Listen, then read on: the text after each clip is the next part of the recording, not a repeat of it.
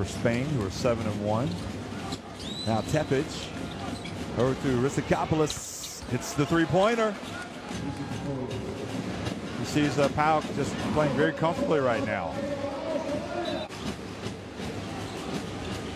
Now the pass intercepted by Tepic. Crosses midcourt. Chrysikopoulos. He hits a three-pointer.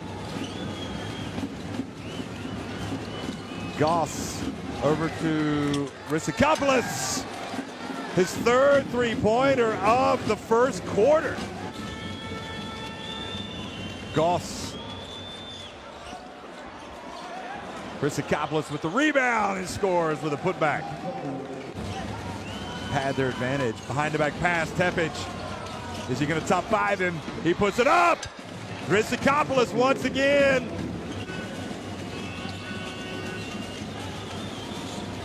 Jones back to Chrysikopoulos.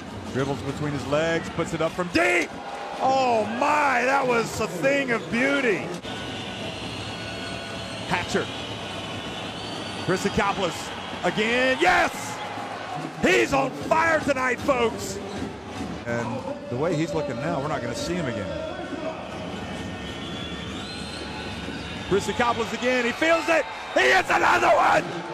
Chrysikopoulos penetrates. Chrysikopoulos, the man of the moment, drives in, puts it up, puts it in. Another one. Of course it had to be him. Who else could it be? He has been utterly sensational tonight. Even with contact by Abromaitis. Well, in fairness, I didn't see any contact. He was acting like it.